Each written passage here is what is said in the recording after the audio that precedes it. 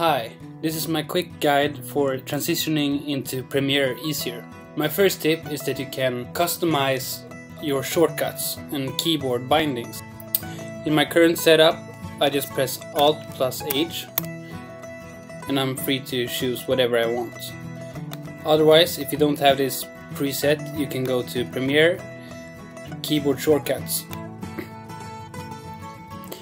In my case, when I went from Final Cut to Premiere, I was very used to the Final Cut shortcuts. So what Premiere does is that they provide them. Remember to save them and then you can bring the keyboard shortcut uh, to whichever computer you go. So, my second tip is window arrangement.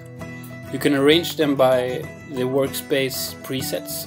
Um, for example, I made my own for grading. This is getting more and more common, but you can of course drag and drop and make it suit you. This is this is basically what Premiere is all about. Making the software suit your way of editing. My third and last tip for today involves something I can't even pronounce in English. In Sweden we say catche, uh, and I think it's pretty much stolen from English.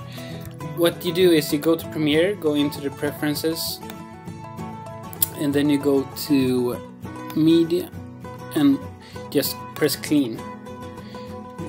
You really don't lose anything by doing this, you just earn a lot of hard drive space. As you see, you can pick your own location for where to put it. Um, but this is often something that a lot of people forget, which makes your computer slow and eventually you end out of space. Uh, thanks for tuning in.